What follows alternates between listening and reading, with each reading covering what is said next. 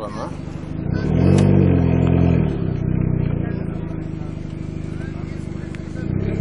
Vamos contra el Gran Am, Sue, con dos segundos de ventaja.